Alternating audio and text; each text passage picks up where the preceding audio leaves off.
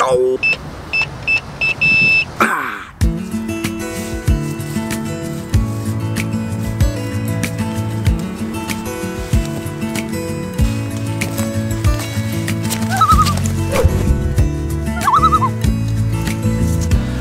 there, how you doing?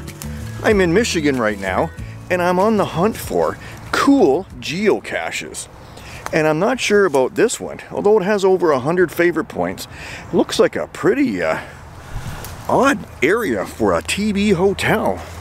Kind of hard to get to, but you never know. And oh, I think this is gonna be a cool cache. Take a look at this. Yeah definitely a cool cache. Check this out. That is way, way cool. St. John's TB Hotel. Oh yeah, look at that. Whoa.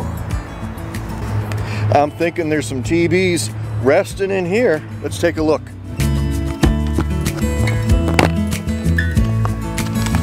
And logbook.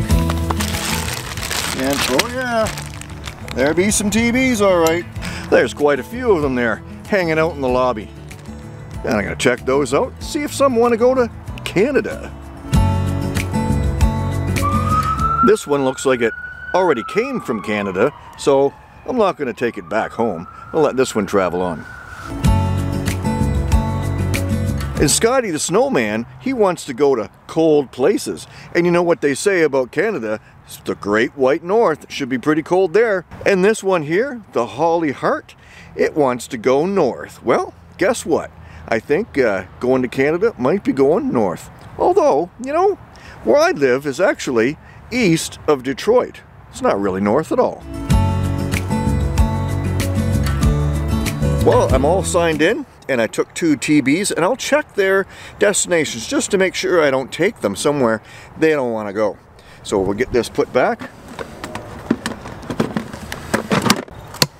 So there you go. Off to some more cool geocaches. Come along. I bet you they're going to be fun. Oh look, the sun popped out. And check this out. Another TB hotel. It looks like it could be a good one. Check it out. Watch this. Well, the sun's up, just like now. Boom! It's a Geo motel. This is awesome. Look at that. And there's actually, look at that. And there's some residents there in the motel. Wow, that is really cool. Hey, and look, replacement log right here. The log sheet is the lid. That's really cool. And this one is called Duffins Geo Motel and the cache owner has given me permission to show you this here in outlying Detroit. This is awesome. What a really cool geo motel. And there's more cool geocaches come up. Stick with us. I think the next one is going to be really, really awesome.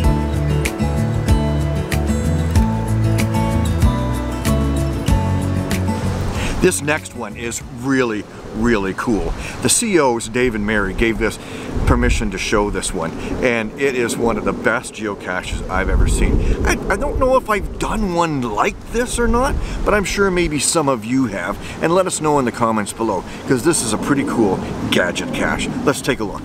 It's mounted right here on this wall uh, in the back of a parking lot of, of an Italian restaurant and it even says right, right here what it is. You know, it's an official geocaching game piece and it, you know, you can't get in. There's there's nothing to, to do. There's no lock or anything like that. But this isn't the total of the geocache. This is just one piece. And in order to get into this, you've got to go way down there and uh, put in a special code. And let's go check that out. So here we're at the other end and this is the works of the, the cache, but the logbook is way down there. And in the middle, if you can see, this is a protected solar panel in a box. So it's got power all the time. So you don't have to worry about a geocache that you have to insert batteries or where the batteries have worn out and the CO needs to come and keep changing. He's got that all worked out. And it's all mounted right here secure. And this is awesome. So what you do is just, you have to open this right up. It's not even locked or anything, which is kind of amazing. But you open that up and you hear a noise and it says greetings, you know, it tells you all about you what you found and if you're not sure where to go to get more information about it. But then you look here and there's a keypad and you have to punch in just the right number. So let's try uh, this one. That's, no, that's not right. Uh, no, that's not right either. I don't know what to, what you got to do, but oh, I know. You check the cache page, and that will pretty much tell you what you need to do. So this one is called Billy Joel's Scenes from an Italian Restaurant. Now I know who Billy Joel is, but I've never heard of Scenes from Italian Restaurant. And I guess that's befitting because it's right behind Luigi's Italian Restaurant and Pizzeria. So I wonder, do you know what you have to do to get this one? Because it took me just a little bit and I figured it out in order to get the code. It all has to do with Billy Joel and the name of that song. Can you tell what it is? Don't put it in the comments. Just say, yes, I know. I think I figured it out. So I'm gonna go try. Let's see if I can get in. So I'm gonna put the code in, but I can't show you what it is. So here we go. I'm gonna put it in. Oh, I heard a click. Let's go see if I can get in. It won't open. Hmm. Try that again. So put the code in. Oh, click. Oh, oh, I know. I gotta be faster. That's it. I gotta be really fast. Okay, here we go. We're gonna put the code in. See if I can get there fast. Click! And, oh, almost! Almost, okay. Whew. I'm getting tired. Ready? Oh, click. I got it. I'm in. Woohoo! That's awesome. Look at that. Oh, I'm in and there's the cache. Now wasn't that a cool one to find? Awesome! All signed up and good to go, so we'll just put that back in. Now the trick is to get it locked up. You gotta put the code in to let the latch lock up and then pop it shut.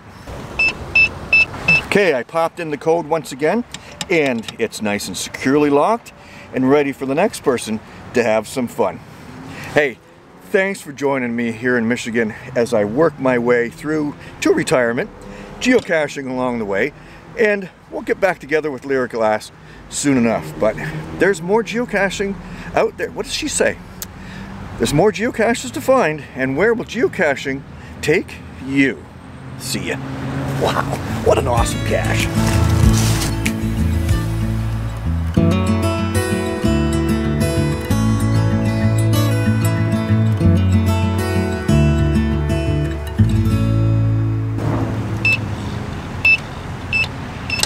I think I'm in.